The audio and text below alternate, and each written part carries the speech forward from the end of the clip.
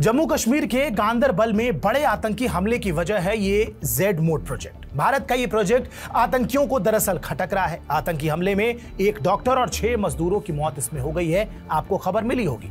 ये सभी मजदूर मोदी सरकार के dream project Z Morh tunnel में काम कर रहे थे। मजदूर शाम को काम खत्म करके मेस में खाना खाने के लिए जुटते हैं कि तभी हथियारों से लैस तीन आतंकी उन्हें गोलियों से छलनी कर देते हैं और मौके से फरार हो जाते हैं। इसे टनल की सुरक्षा में भी एक बड़ी चूक माना जा रहा है।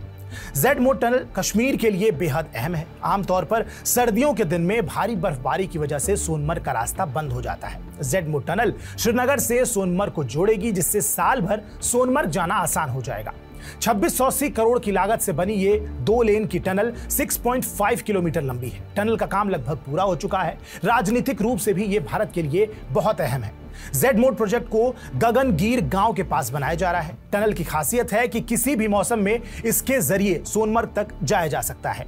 इसका नाम जेड इसलिए है क्योंकि इसका शेप भी अंग्रेज़ी के जेड लेटर के जैसा ही है। टनल को 8,500 फीट पर बनाया जा रहा है। चलिए अब आपको इस टनल का इतिहास भी बताते हैं। साल 2012 में बॉर्डर रोड्स ऑर्गेनाइजेशन ने पहली बार इस टनल की कल्पना की थी। पहले इसका टेंडर टनल वे लिमिटेड को दिया गया था। बाद में इस परियोजना को राष्ट्रीय राजमार्ग और बुनियादी ढांचा विकास निगम लिमिटेड, यानी कि एनएचआईडीसीएल ने अपने कब्जे में ले लिया। दोबारा टेंडर निकला एपीसीओ इंफ्रोटेक को टनल का टेंडर मिल भी गया। इसी कंपनी ने टनल को अब बनाया भी है। अगस्त 2023 में इस प्रोजेक्ट को बन जाना था, लेकिन इसमें देरी हुई। अब टनल लगभग पूरी तरीके से बनकर तैयार है। जम्मू कश्मीर चुनाव की वजह से इसका उद्घाटन अभी तक नहीं हो पाया था। जेड प्रोजेक्ट न सिर्फ़ श्रीनगर को सोनमर्ग से सिर्फ़ जोड़ता है, बल्कि राजनीतिक तौर पर भी ये आर्मी के लिए काफ़ी अहम है। इसके ज़रिए आर्मी लद्दाख में बॉर्डर पर जल्दी पहुँच सकती है। देखा जाए तो 12,000 फीट की ऊंचाई पर बन रहे जोजिला टनल के विकल्प के रूप में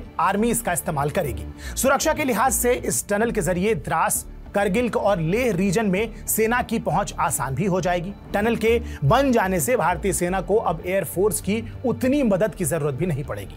टनल के ज़रिए ट्रांसपोर्ट का काम भी काफ़ी आसान हो जाएगा। बहरहाल, इस वीडियो पर आपकी क्या प्रतिक्रिया है? कमेंट बॉक्स में ज़रूर बताएँ। बाकी देश और दुनिया की तमाम खबरों के लिए सब्सक्राइब कीजिए टीवी नाइन डिजिटल नमस्कार।